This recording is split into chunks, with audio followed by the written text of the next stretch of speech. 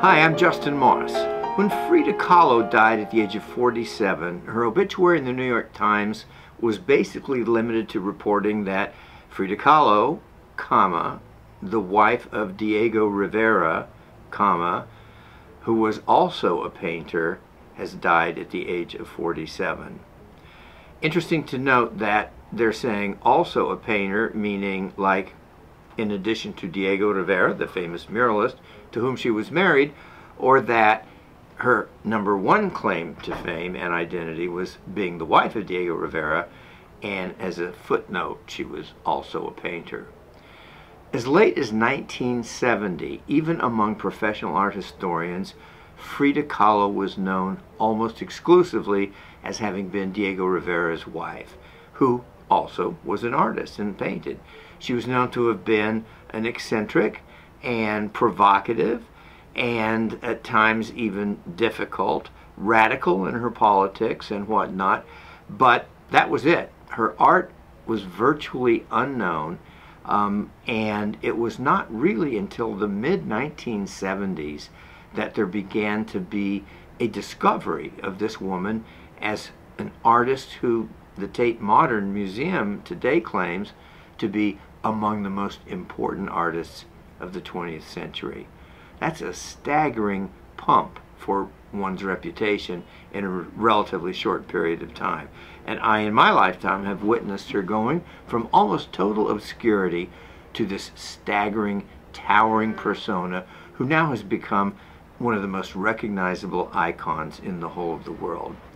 She was born in 1907 and had a family of interesting uh, and accomplished uh, parents and siblings. Her father was German, he was a photographer. Her mother was native Mexican, and she was very proud of that identity, which was also during her lifetime going to come into focus and then after her death continue prominently into the uh, La Raza and Chicano movements that would really define the um, stature of people from this part of the world in the United States up until the present time. She did well in school, although had some behavioral issues and whatnot, but by her late teens was an exceptional student and clearly was headed for a career uh, in medical school and then on into practicing medicine. But when she was 18 years old, she and her boyfriend, who was a member of a group of very politically active people, were going home from school on a wooden bus that collided with a streetcar.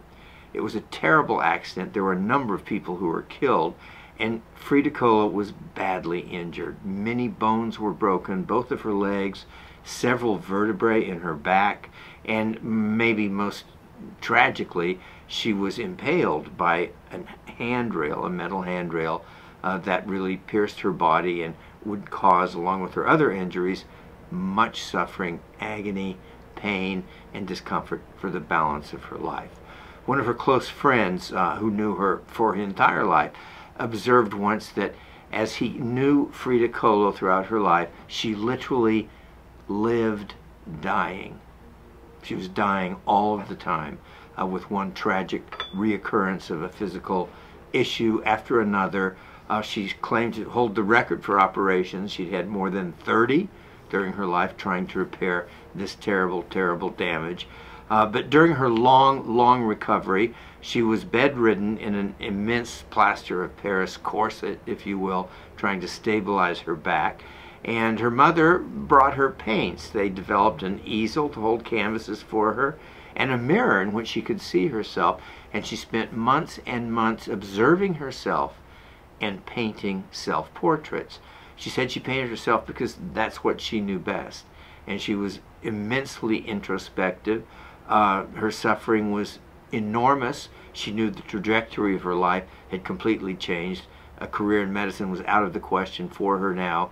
And she gravitated more and more closely to the art that she was making as the sole source uh, and wellspring, if you will, of inspiration that governed her very existence. After she'd made enough of a recovery to get around, uh, she began to get more serious about her art. She had a collection of paintings, and she had met the most famous Mexican artist of the time, Diego Rivera, the well-known muralist whose work was all over the world at this point, really. And uh, she decided very bravely, very courageously, that she would gather up her paintings and take them to Diego Rivera to have him give a look and give her his opinion as to what he thought of her artistic abilities. Uh, she approached him as he was working on a mural in Mexico City, and he looked at her paintings and thought she had tremendous potential. He was very moved by her originality, by her courage, um, by her reduction of classical uh, academic ideals into something that really reflected much of the uh, Mexicanidad, Mexicanness that was uh, so important to people, throwing off colonialism and establishing themselves uh, as a people in their own right with their own set of values and aesthetic um, uh, platforms. And she took encouragement from his opinion and began to very seriously think of pursuing a career as an artist. She also very seriously thought of pursuing Diego Rivera, and she did. It was a mismatch in many ways. Her parents were opposed. They said it was the marriage of an elephant and a dove. Uh, Diego Rivera was 20 years older than she, um, maybe 20 times heavier, and she was very, very fragile, very small. He was a large man and pretty severely overweight for much of his life.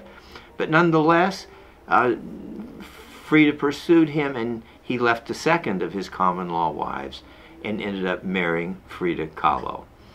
Um, the terrible accident in which she was so badly wounded, she often refers to as the first of the two great tragedies of her life.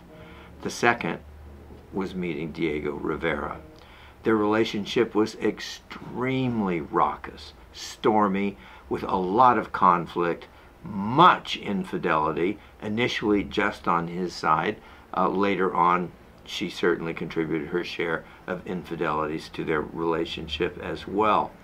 Uh, there was a lot of rage, a lot of anger, but at the same time, she was trying to build a career. She was living in Diego Rivera's shadow, and uh, actually on one of their trips, I believe, to New York, she got a little cheeky and was greeted by the press as they were uh, getting off of their ship, and she made a statement to the effect of, thinking that she herself was the better artist of the two, of Diego Rivera.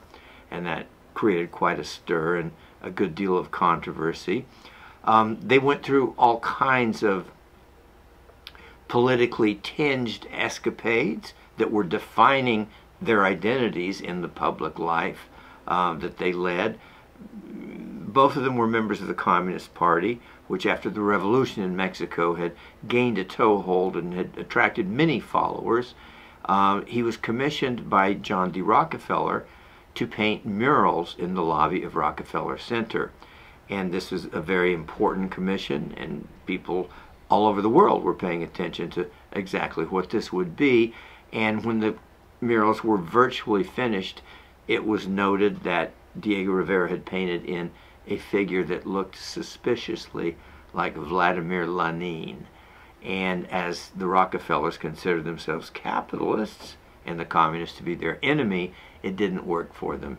Uh, Diego Rivera was paid and fired, and in two days workmen showed up and destroyed the mural that he had created at Rockefeller Center. He did much work in Detroit at the Institute of Art there, murals that are famous to this day and people make pilgrimage to. They had a couple of long stays in San Francisco, and there are a number of wonderful Diego uh, Rivera murals to be seen there in San Francisco. She had become well known, well connected, uh, not only because of her connection to Diego Rivera, but because of her idiosyncrasies. She would dress in the clothes and the iconic style that is so widely known and recognized around the world today and going in one of those red and yellow long skirted dresses into a social gathering in New York City always created quite a stir and gave her a very special and unique look. She was her own character, fought the idea of commissions, and threw off everyone's attempts to either dictate or guide her artistic um, sensibilities in any of the projects that she undertook. There's a famous story of a woman who was well known to Frida Kahlo and most of society in New York. Her name was Dorothy Hale. She's very well connected. Her husband was also very well known, and he was tragically killed in an automobile accident, leaving her a very young widow. Dorothy Hale struggled to establish herself in a new relationship, in a career with an identity. She was running out of money and becoming desperate, in fact. And Frida Kahlo and everyone who knew Dorothy Hale watched her basically unraveling as she struggled against this mighty current that was seemed seemed to be determined to simply overwhelm and drown her until finally one night she committed suicide by jumping from her apartment on a high floor of Hampshire House.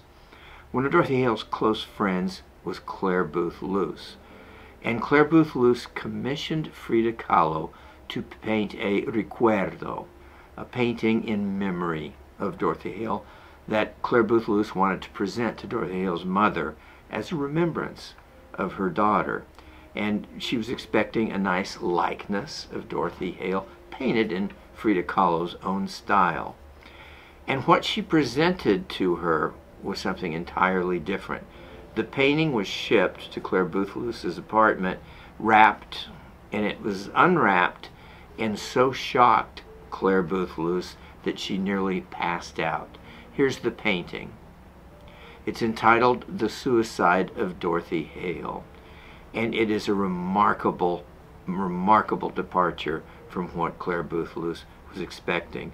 Um, it's gruesome. We see Dorothy Hale standing in her apartment window. We see her about halfway down to the street, and then we see her piled up at the bottom in a pool of blood, wearing her favorite dress with a corsage of roses pinned to it, and uh, the inscription that Frida Kahlo wrote in blood red paint at the bottom of the painting, also painting the bottom section of the frame in a blood red color. Uh, the, the legend reads, in New York City on the 21st of October 1938 at 6 o'clock in the morning, Dorothy Hale committed suicide by throwing herself from a very high window in the Hampshire house. In her memory, Clare Boothe Luce has commissioned this retablo, which was executed by Frida Kahlo.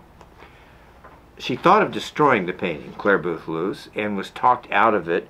Uh, the sculptor Noguchi, who was a good friend of both Frida Kahlo and Clare Boothe Luce, painted out Clare Boothe Luce's name from the legend. She didn't want her name associated with it at all, and it basically was hidden in the garage or some closet somewhere for many, many years. People who knew of the painting thought it had been destroyed, uh, but it surfaced after Clare Boothe Luce's death, and her hus her son rather found it and recognizing its importance and the in the catalog of Frida Kahlo's work donated it to a museum. But it's one of Frida Kahlo's most famous paintings.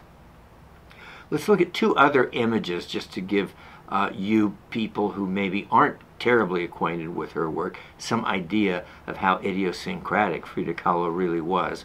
Here's a painting entitled The Broken Column, and it was painted at a time when Frida Kahlo was having terrible, terrible back problems, and she'd had one failed surgery, uh, was about to have another trying to repair this damage. She was having terrible trouble either standing or sitting for extended periods of time, and the fractured vertebrae from that terrible bus accident in which she was so badly injured did so much damage. She's painted herself with a column replacing her spine, which you can see, and it looks like it's in shambles and that it's about to collapse. I mean, this is a starkly challenging and brutal painting, uh, but typical of her self uh, scrutiny in those days and her, again, reinforcing the statement of, I paint myself because that is what I know best. Another painting of hers, uh, which we can look at for just a moment, is entitled Thinking of Death. It's a remarkable piece uh, in which she's painted a little skull and crossbones right in the center of her forehead. And again, it just is a great illustration of how frank, stark, and brutally honest she was during the whole course of her life. She went on to inspire a cult long after her death as her re reputation began to flower and really flourish, and it inspired all kinds of things. Actually, the whole gamut from Barbie dolls to operas. One opera, which was written at the inspiration of her life story, uh, was accomplished by Robert Xavier Rodriguez, an American composer who has had really a significant career. He's one of the best and most impeccably trained composers uh, among us today. He studied in Paris with Nadia Boulanger, uh, who taught virtually every significant American composer. And I think he's written something like eight operas during the course of his long and wonderful career.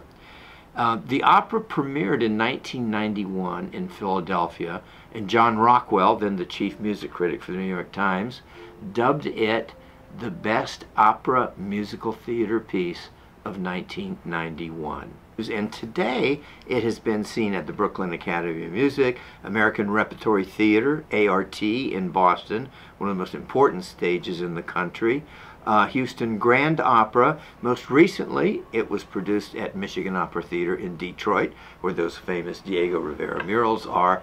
And now Florida Grand Opera brings it to South Florida for the first time. A truly remarkable artist by the name of Catalina Cuervo has made this role of Frida Kahlo her own in this piece.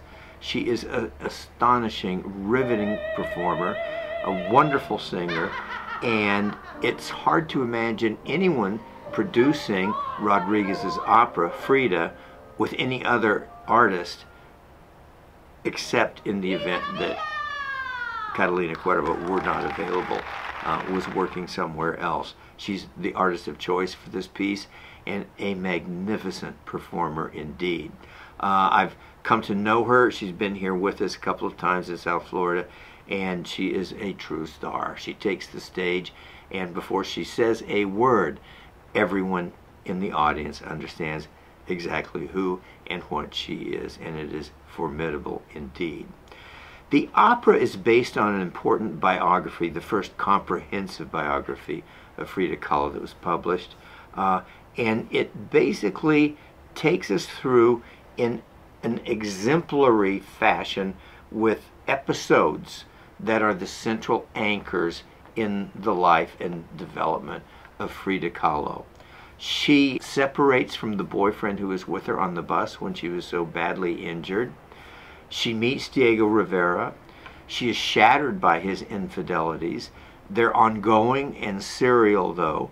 And the final blow, I think, comes when Frida Kahlo discovers that Rivera is conducting an affair with her younger sister. I think that really pulled the plug in many ways. She moved out of the house they shared together in Mexico City, took an apartment uh, downtown, and then after a while proceeded with making a divorce and she and Diego se separated and divorced, but curiously enough, remained very close and in constant contact with one another during that period of separation. They continued to conduct extramarital affairs. Uh, they had a lot of troubles in their life. They knew and hosted the Trotskys. Leon Trotsky and his wife stayed with them for about a year Frida began to conduct an affair with Leon Trotsky, which made Diego Rivera quite jealous and concerned because of Trotsky's position within the Communist Party. Trotsky, at this point, of course, had been exiled from Russia and had come to land in Mexico City after wandering about in Europe quite a bit. Stalin, though, was poisoned with rage and anger at Trotsky for having, he felt, betrayed the Communist Party and betrayed Stalin personally, and an agent of Stalin was sent to Mexico to assassinate Trotsky. His girlfriend was someone who had studied and worked with Frida Kahlo. Frida Kahlo came to know her boyfriend, who was the assassin, and after Trotsky was killed and assassinated in Mexico City, Frida Kahlo and her younger sister were arrested and held for a couple of days for questioning uh, and considered to be possibly implicated in that terrible crime. She wasn't and was finally released, but as you can imagine, this created just a lot of turmoil in their lives. Diego fled the country at Trotsky's death for some period of time and uh, came back later, at which time they were reconciled. And actually, they, they decided that they would marry again and did so. And it's kind of remarkable to see them having come through full circle with all the struggles, all the desperation. Um, Frida Kahlo very much, I think, identifying with that woman from the 1930s who she knew so well, who jumped to her death from Hampshire House. The struggle, especially for a female trying to survive, trying to make a name for herself, trying to establish herself out from under the umbrage of somebody else and whatnot. Uh, I think that's what moved her so desperately to, to say, I cannot just paint a likeness of this woman. I must say, make a statement and say who she was and what her struggle was and what her end was, because that in many ways defines much of Dorothy Hale's life. Um, Frida Kahlo grows increasingly fragile in terms of her health and uh, finally starts a series of amputations. Toes are amputated, and then later her leg is amputated below the knee, and this sends her into a great depression. Uh, this is all, of course, accompanied by drug and alcohol abuse, which you would almost be shocked not to find uh, in somebody's repertoire as they're going through that kind of torment and aggravation and uh, desperation, really. She finally has begun selling paintings, though. She has a show uh, that she sells about half of the paintings. She has an opportunity to uh, sell a couple of paintings to some Hollywood stars, Edward G. Robinson being one of them. And then she finally is so sick that she realizes the end is absolutely near. Um, there was a show in Mexico City being given. Her doctors had ordered her uh, to, to, not to attend, that she had to adhere to total bed rest and not try to attain a standing position. Uh, she famously had her bed delivered to the gallery and herself transported on a stretcher in an ambulance for the opening. They put her on her bed in the gallery and she stayed for the whole duration of the party. Uh, she died soon afterwards, though.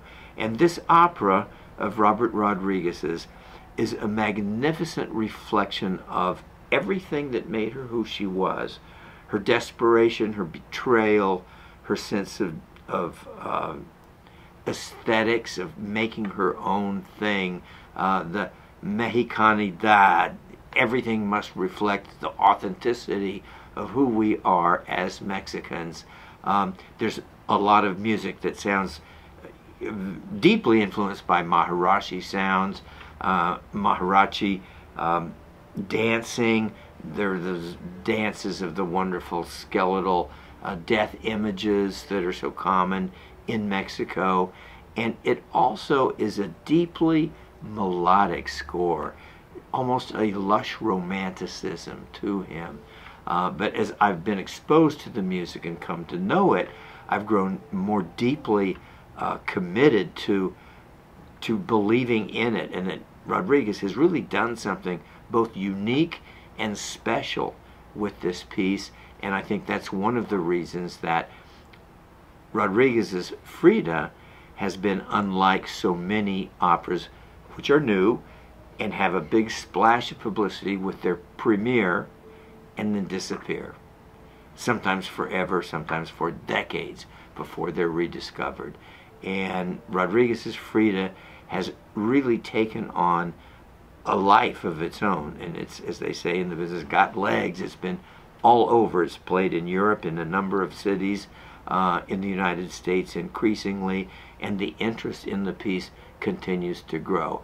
And I think not only driven by the great iconographic stature that Frida Kahlo has attained in our culture, but by the real honesty and goodness of the music and the piece. People who've seen this production and performance of Frida and of Catalina Cuervo performing it say it's one of the most remarkable operatic experiences that they've had and that it's been a thrilling, thrilling evening. I hope you won't miss this opportunity to catch one of the performances Florida Grand Opera will be presenting here in South Florida. I'd like to end with us taking just a moment to look at some footage of a press conference in Detroit that occurred before the opening uh, of their production. This is Catalina Cuervo singing the Frida you see before you. The Frida you see